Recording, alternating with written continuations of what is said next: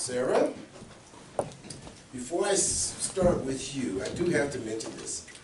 In the movie of Guardians of the Galaxy, Mary Poppins was referred to as the gentleman floating with an umbrella, which was really good, but he had a spear.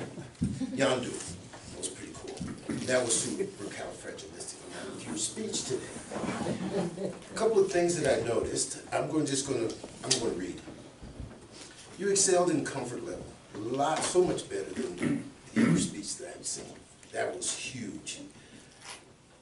You may wanna work on a little bit of movement. You kinda, you kinda got stuck here.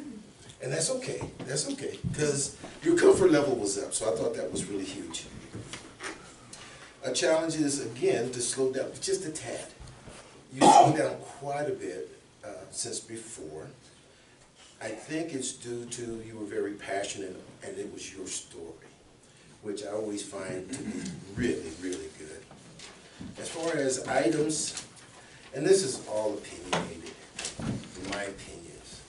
Spirit Duck, what an awesome thing. That I really liked uh, was about the ice wings and just a little bit bigger pause when you mentioned about, because I was trying to get the visual and then you, you, you took a breath, but you just hit right on into it. And I really wanted to visualize the ice wings, frozen wings.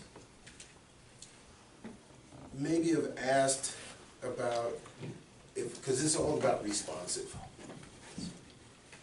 Maybe asking the audience about what would you have done before you went into, I put him into the cage or to the, uh, the milk crate and put him up.